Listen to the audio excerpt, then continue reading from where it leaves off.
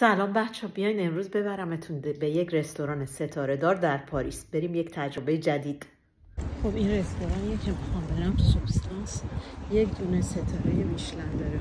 غذامون نگاه کنین اصلا مثل سنگه. این گفتش که چیه؟ آریان یه بار این حلزونه؟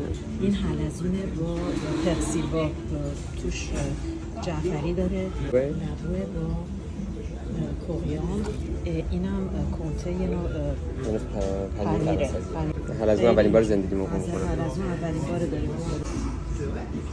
همینجوری هم باید با دست برداشت اینم تارت پنیره. زیرش تارت. اینم هستش با یک پنیره که مال یک آلپ کوهستانیه. یه توش توش پیاز. پیکلز پیاز داره سیب زمینی هم داره. حالا و اینم که تهش اون پیاز هست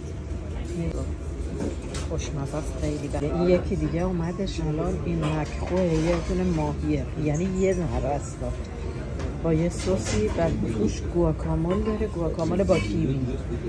خب اینم پرسیون سوممونه. نیوکیه.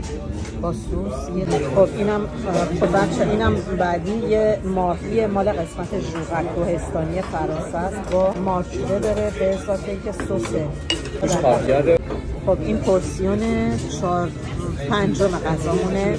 گوشت گوسفنده. با آرتیشو کنارش. توی فرنگی و سس. عالی غلیظ ببینید خب اینم دسر.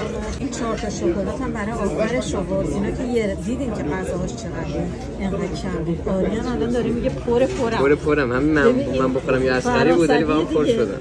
اون چیزی که من تو خونه می‌دادم اینا نصف این کشیدن. نصف هم کمتر. کمتر. یه دهمش دیگه. یه دهمش.